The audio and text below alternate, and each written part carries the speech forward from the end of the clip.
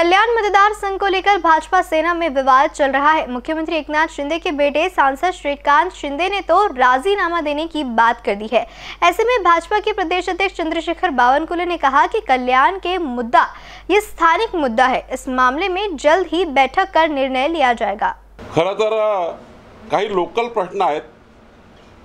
Local प्रश्नामध्ये काही तिथे अनेक वर्ष एकामेकाच्या विरुद्ध भाजप शिंदे साहेबाकडले कार्यकर्ते अनेक वर्षापासून एकामेकाच्या पक्षामध्ये विरोधी भूमिकेत अनेक वर्षापासून त्या ठिकाणी लोकल लेवलला त्या ठिकाणी आहेत.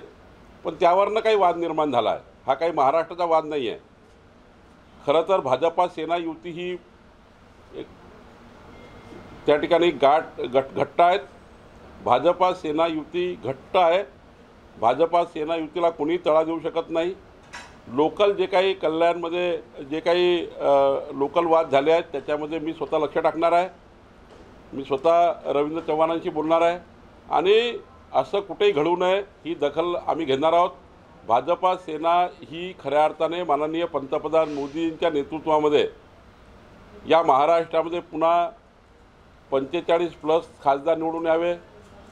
एकनाथ शिंदेंच्या नेतृत्वामध्ये ज्या ठिकाणी शिवसेनेचे खासदार लढतील त्या ठिकाणी भाजपा भाजपाच्या उमेदवारापेक्षाही जास्त मदत एकनाथ शिंदेंच्या का एक एकनाथ शिंदेंच्या उमेदवाराला करणार आहे.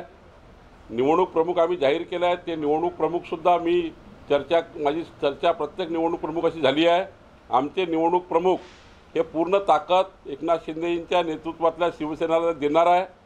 श्रीकांत शिंदेंनाही त्या ठिकाणी आम्ही सांगतो आहे की त्यांनी त्या ठिकाणी जे लोकल वाद आहेत ते सोडून एकनाथ शिंदेजी जे आपल्याला शेवटी ती त्यांची सीट आहे सिटिंग सीट आहे त्यांना कोण हलवू शकणार आहे?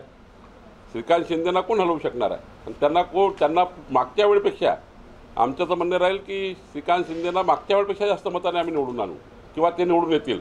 त्यांची क्षमता खूप आहे. त्याच्या क्षमतेबद्दल मला बोलायचं नाही. पण भाजपात तेवढ्याच ताकदीने मदत करेल परंतु लोकल काही वाद आहे त्या वादाबद्दल मी बैठक घेणार आहे. असं समजू नये एवढ्या एखाद्या घटनेने पूर्ण महाराष्ट्रात काही युतीमध्ये बेबनाव आला आहे.